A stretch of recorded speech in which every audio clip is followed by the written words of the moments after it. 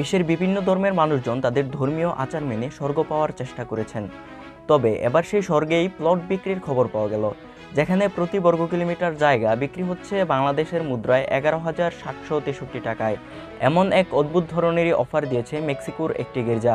সম্প্রতি সামাজিক যোগাযোগ মাধ্যম টিকটকে মেক্সিকোর ওই গির্জার খবরটি ছড়িয়ে পড়ে।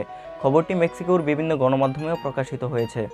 মেক্সিকোর গির্জাটি স্বর্গে প্লট দেওয়ার প্রতিশ্রুতি দিয়ে জমির চুক্তির মাধ্যমে কোটি কোটি টাকার সংগ্রহ করছেন।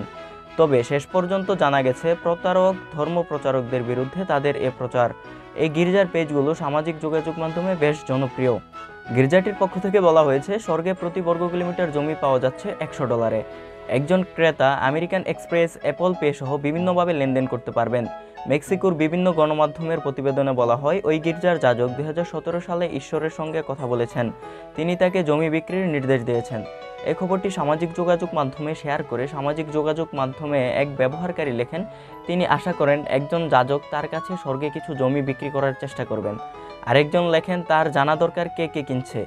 তিনি আরও কম দামে স্বর্গে জমি বিক্রি করছেন। শাহপরান পদ্মা নিউজ।